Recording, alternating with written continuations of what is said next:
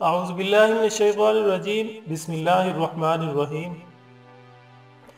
ناظرین، جیسا کہ آپ کو معلوم ہے کہ گزشتہ ویڈیو میں ہم نے بات کی تھی سائنس کی روح سے وضو کے انسانی جسم پر کیا اثرات ہوتے ہیں۔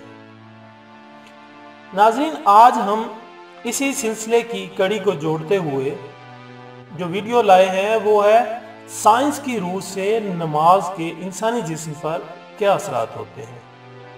ناظرین جدید سائنسی پیش رفت کے مطابق وہ چربی جو شریانوں میں جم جاتی ہے، رفتہ رفتہ ہماری شریانوں کو تنگ کرنا شروع کر دیتی ہے۔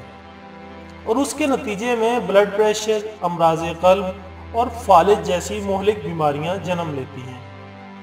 عام طور پر انسانی جسم میں کولیسٹرول کی مقدار ایک سو پچاس سے دو سو پچاس ملی گرام کے درمیان ہوتی ہے۔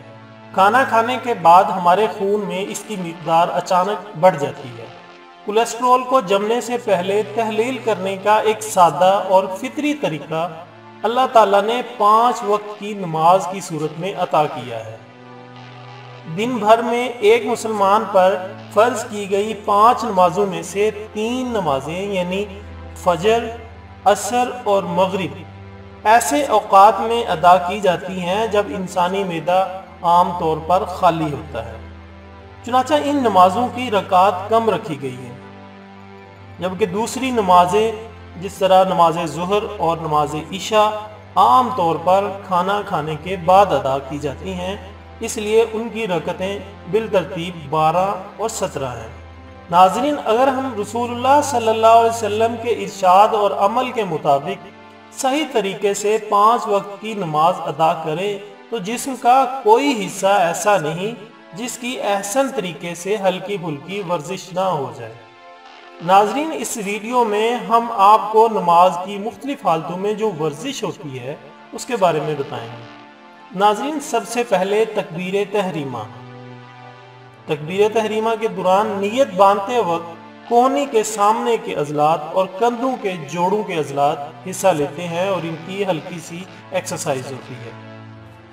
اسی طرح ناظرین، ہاتھ باندھتے وقت کوہنی کے آگے کھینچنے والے پٹھے اور کلائی کے آگے اور پیچھے کھینچنے والے پٹھے حصہ لیتے ہیں، جبکہ جسم کے باقی پٹھے سیدھا کھڑا ہونے کی وجہ سے اپنا معمول کا کام ادا کرتے رہتے ہیں۔ رکوع کی حالت میں جسم کے تمام پٹھے ورزش میں حصہ لیتے ہیں۔ اس میں کولے کے جوڑ پر جھکاؤ ہوتا ہے، جبکہ گھٹنے کے جوڑ سیدھی حالت میں ہوتے ہیں۔ کوہنیاں سیدھی کھینچی ہوئی ہوتی ہیں اور کلائی بھی سیدھی ہوتی ہے۔ جبکہ پیٹ اور کمر کے پٹھے جھکے اور سیدھے ہوتے وقت کام کرتے ہیں۔ ناظرین، اسی طرح سجدے میں کولوں، گھٹنوں، ٹخنوں اور کوہنیوں پر جھکاؤ ہوتا ہے، جبکہ ٹانگوں کے پیچھے کے پٹھے اور کمر، پیٹ کے پٹھے کھینچے ہوئے ہوتے ہیں۔ اور کندھے کے جوڑ کے پٹھے اس کو باہر کی طرف کھینچتے ہیں۔ اس کے ساتھ ساتھ کلائی کے پیچھے کے عضلات بھی کھینچے ہوئے ہوتے ہیں۔ سجدہ دل و دماغ کو خون کی فراہمی کے لیے نہایت ہی موضوع ایکسرسائز ہے۔ ناظرین اتحیات کی صورت میں گھٹنے اور کولوں پر جھکاؤ ہوتا ہے۔ ٹخنے اور پاؤں کے عضلات پیچھے کھنچے ہوئے ہوتے ہیں۔ کمر اور گردن کے پٹھے کھنچے ہوئے ہوتے ہیں اور ان کی ہلکی پھلکی ایکسرسائز ہو رہی ہوتی ہے۔ ناظرین، سلام پھیرتے وقت گردن کے دائیں اور بائیں طرف کے پٹھوں کی ایکسرسائز ہوتی ہے۔ ناظرین، ہم نے دیکھا کہ سنت نبوی صلی اللہ علیہ وسلم کی پیروی میں درست طریقے سے نماز ادا کرنے کی صورت میں انسانی بدن کا ہر عضو ایک قسم کی ہلکی پھلکی ورزش میں حصہ لیتا ہے، جو اس کی عمومی حالت کے لیے بہت ہی مفید ہے۔ ناظرین، اس کے ساتھ ہی اس ویڈیو کا اختتام ہوتا ہے۔ ناظرین، نماز ہر مسلمان مرد اور عورت پر فرض ہے۔ آپ خود بھی نماز کی پابندی کریں اور اپنے دوستوں، رشتہ داروں اور اپنے ارد گرد سب کو نماز کی ادائیگی کی تلقین کریں۔ اس کے ساتھ ہی اجازت دیجیے گا۔ اللہ حافظ۔